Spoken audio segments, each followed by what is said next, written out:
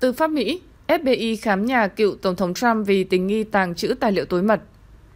Chính sự hiện diện của nhiều tài liệu tuyệt mật trong những chiếc hộp hồ sơ được cựu Tổng thống Mỹ Donald Trump mang đi khi ông rời Nhà Trắng, mà một phần được giao lại cho Cơ quan Lưu trữ Quốc gia hồi đầu năm nay, đã khiến Cục Điều tra Liên bang FBI mở cuộc khám soát tư dinh của ông Trump tại Florida. Một tài liệu chính thức của Bộ Tư pháp Mỹ công bố hôm qua 26 tháng 8 đã xác định như trên.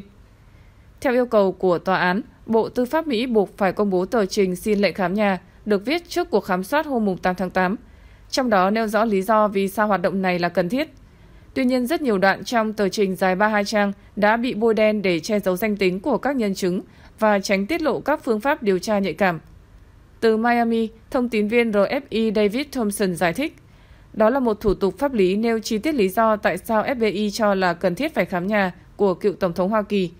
Mọi chuyện bắt đầu vào tháng 2 năm 2022 khi sau nhiều tháng gây sức ép, Donald Trump rốt cuộc đã trả lại cho chính quyền 15 hộp tài liệu mật mà ông mang theo một cách bất hợp pháp khi rời Nhà Trắng. Bên trong có 184 hồ sơ được xếp vào diện tài liệu mật, với 25 trong số đó được ghi là tối mật, tức là mức độ bảo mật cao nhất. Một số tài liệu này bị sắp xếp lộn xộn, chứa các thông tin có khả năng gây nguy hiểm cho các nhân viên tình báo hoạt động bí mật ở nước ngoài. Sau khi xem xét các tài liệu đó, các nhà điều tra FBI tin rằng cựu tổng thống còn giữ nhiều hồ sơ khác loại như vậy ở Mar-a-Lago. Do đó FBI quyết định khám soát tư dinh của ông Trump tại Florida, nơi họ đã thu giữ khoảng 30 chiếc hộp khác.